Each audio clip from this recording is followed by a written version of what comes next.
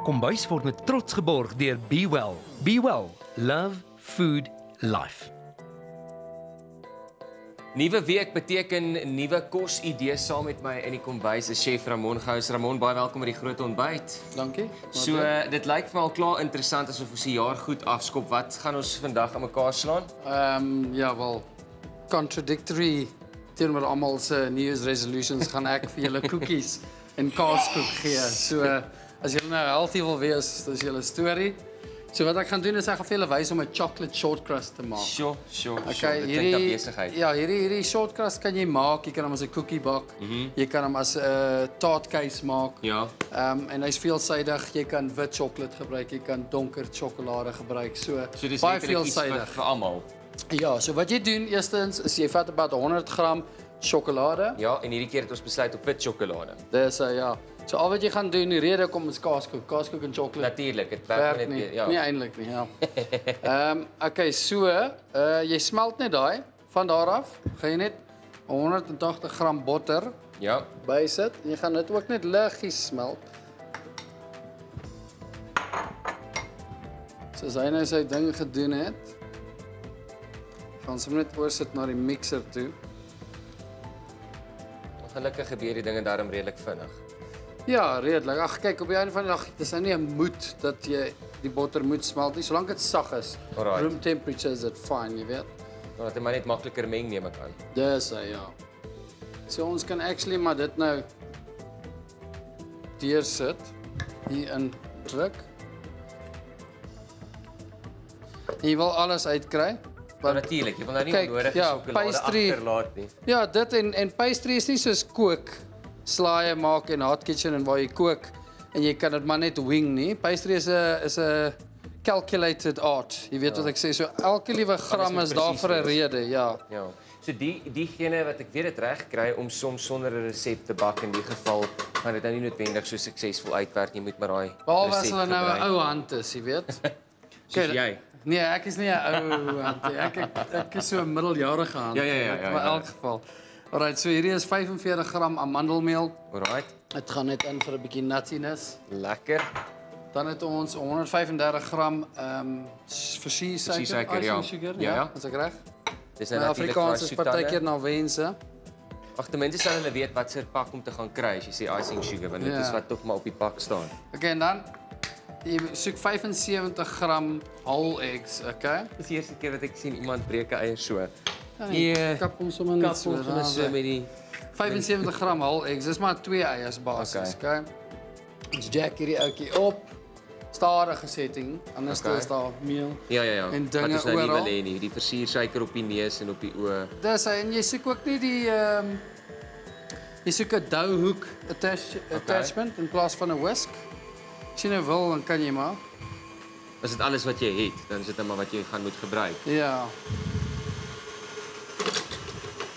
Word so vinnig gemeng, maar ek meen hierdie is dan nou eintlik baie veelsidig soos jy gesê het. Ek meen jy kan besluit wat jy wil byvoeg en wat nie. Ehm um, so terwyl daai besig is om te meng, ek sien uit om die finale resultaat te sien en ook te proe. Ek Nee, jy gaan verseker. Ja ja ja. So jy kan ingeskakel bly op die groot ontbyt net hierna wys ons vir jou die finale produk.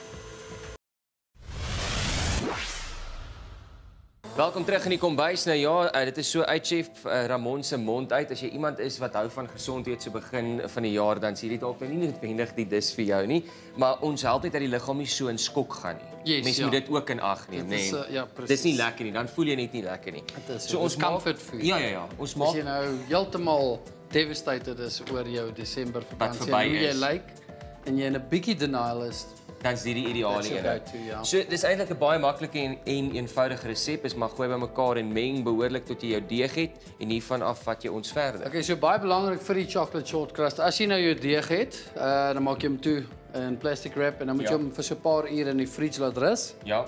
Van daar af rol jy hom uit. Mm en hierdie is waar hy anders is as 'n ander koekie deeg is. Jy rol hom uit tussen twee ehm um, baking paper en dan baie dun en dan moet jy hom weer terugsit in die in die O, yskas. Dit alles het nou al gebeur. Yes, net so. Die jou oond op 150 grade, 145 tot 150. Jy wil nie hy moet baie warm wees nie want dan swel al daai die botter smelt en dan die chocolate Okay. smelt en dan swel hy en dan verloor hy sy shape. Hierdie manier hou hy sy shape. Wat ook help is is dat jy 'n air mat gebruik. Okay. Um, maar dan omdat hy perforated is, dan kook jy dit dit beter ja. en hy maak hierdie pragtige Die vorm amper dit, dit lyk mooi afgewerk. En kyk daai kant. Rolf. Kyk net daar. Kyk daai kant lyk baie beter. Sjoe. In elk geval, so as jy nou nie air mat het nie, kan jy bietjie van B-Well se ehm um, wat sit nou canola baking spray gebruik. Werk net so goed. Hy gaan nie vassit nie. Ons gaan nou nie hierdie ouetjie sny nie. Ehm um, ons kan hom sny en opsit en kook, Ja. maar ons het nou al klaar twee wat reg is. So ek wys julle maar net wat aangaan.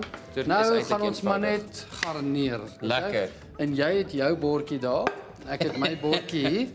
En jy kan Dis dit 'n groot gaan. cook-off? Ja, ja, dis 'n cook-off, so 'n plate-off sal ons sê, Ja, okay? plate-off. Ek het vir jou tools daar gesit. Jy kan Lekker. groot gaan. Aha. En hierso het ons 'n bietjie verbena blommetjies ook al vars van ons plaas af. It is variegated pink verbena en dan hierdie is cornflowers wat ons net gedeconstructed soos pers, pink en baie lig pink. So very girly today. Is dit is dit eetbaar? Natuurlik, alles Okay, is so eetbaar dan op is jy ons okay. plaas en dan 'n bietjie swart bessies. Hierdie ba basis wat ons hierso het is 'n lemon and lime cheesecake. Oeh, Die resep is op die webwerf, jy kan kyk, is baie straightforward. En al wat ek nou gaan doen is ek gaan nou 'n bietjie zest bo-op sit want simplicity is the key, jy weet. Ja. So ons gaan letterlik jy moet maar doen wat jy wil doen hè. Kan ek Jy kan aangaan? groot gaan, ja, gaan jy groot. Ek gaan net zest opsit. Okay, so ek uh, gaan vir hom interessant hou, nou dalk net nie mors nie. Ja, kom ons Kom ons kyk hoe so. draai dit uit. Want dan het ons maak vir verskillende tipe ehm um, gehore. Kom ons sê maar so, nê.